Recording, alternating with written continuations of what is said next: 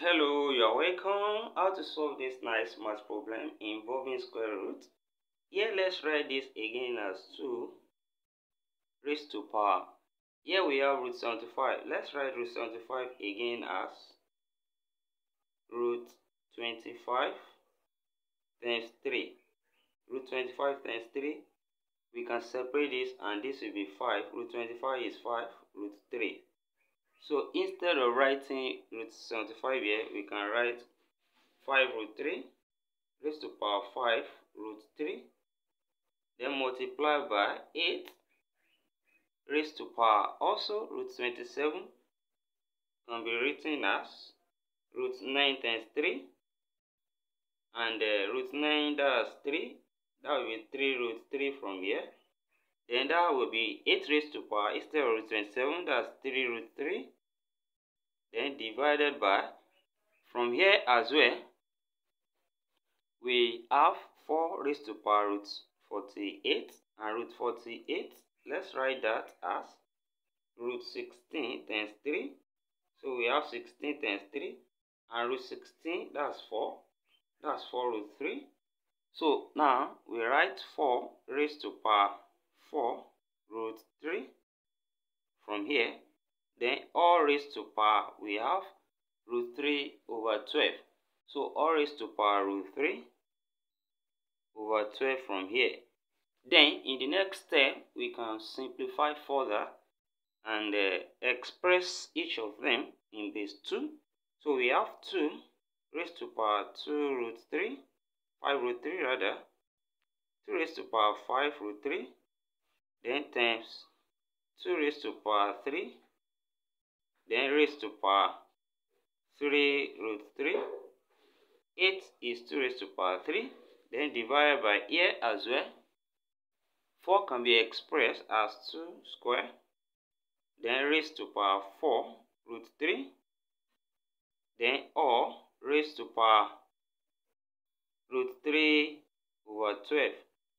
And uh, in the next step, from the law of indices, this power will multiply from here this power multiply this power multiply and this will become 2 raised to power 5 root 3 times 2 raised to power 9 root 3 then divided by 2 raised to power 8 root 3 then all raised to power root 3 over 12 and uh, in the next step we apply the law of indices from here, same base, then we can add the power here.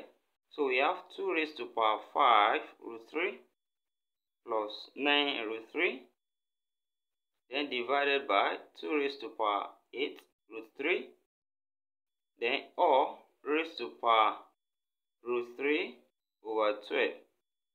And then when we simplify this, when we add this together, that's 2 raised to power 14 root 3.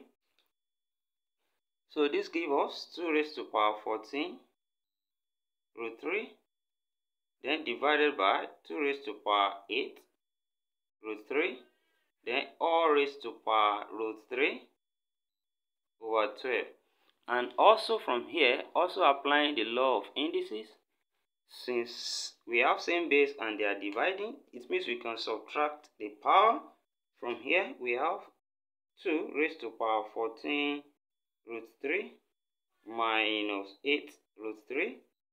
Then all raised to power root 3 over 12. So when we subtract this, we have 6 root 3. So that's 2 raised to power 6 root 3. From here, let's solve it here.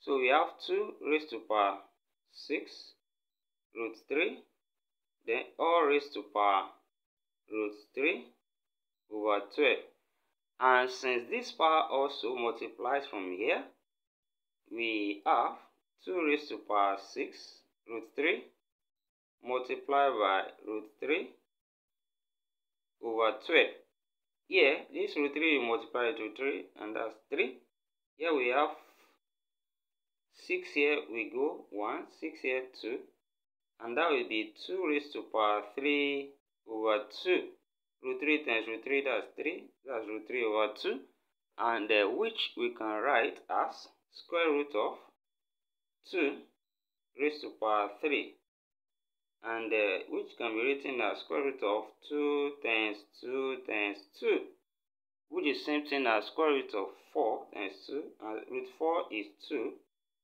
then we have root 2 so now the result or the answer from here is 2 root 2 and we have come to the end of this problem thank you for watching.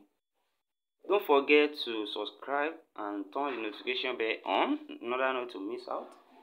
Also like and share give a thumbs up put your own comments there the way of solving it in your own way. Thank you. See you next class and bye for now